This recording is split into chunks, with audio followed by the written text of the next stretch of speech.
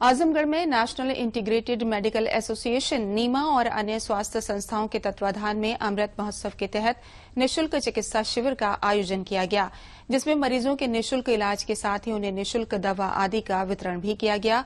चिकित्सा शिविर में जनपद के बाहर से आए वरिष्ठ हृदय रोग, अस्थि रोग, मधुमेह रोग, कैंसर रोग तथा नाक, कान, गला रोग से जुड़े चिकित्सकों ने पीड़ितों का इलाज किया।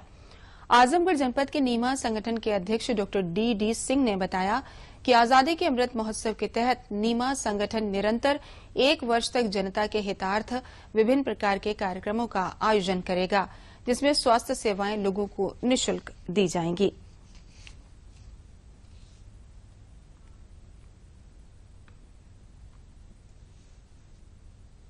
जिस तरह से देश आज़ादी का पचहत्तरवां साल अमृत महोत्सव मना रहा है, हम आपको बताना चाहेंगे कि हमारा राष्ट्रीय संगठन national integrated medical association NIMA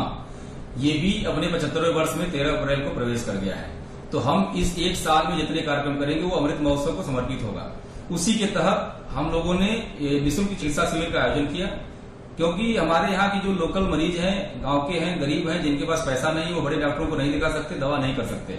हमारी बीमा की सोच रहती है कि हम आम जन के हित के लिए कार्य करते रहें।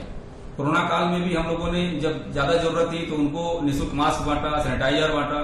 जब ब्लड की ज़रूरत थी तो हमने हमारे संगठन ने नाइन में ब्लड डोनेट किया, जिससे उनकी ज़रूरत को पूरी की जा सके। हम समय समय पर पब्लिक के हित वाले काम करते रहते हैं। उसी परिप्रेक्ष्य में कल हमने जो नीमा का अमृत महोत्सव के तहत निःशुल्क चिकित्सा शिविर किया है, इसमें छह विशेषज्ञ चिकित्सकों को हम बुलाए थे, जिसमें हृदय रोग विशेषज्ञ, अस्थि रोग विशेषज्ञ, कैंसर रोग विशेषज्ञ, नाक कान गला रोग विशेषज्ञ और गुदा रोग विशेषज्ञ। ये सारे विशेषज्ञ बनारस के बड़े अस्पताल से आके यहाँ निःशुल्क सेवा दे रहे थे।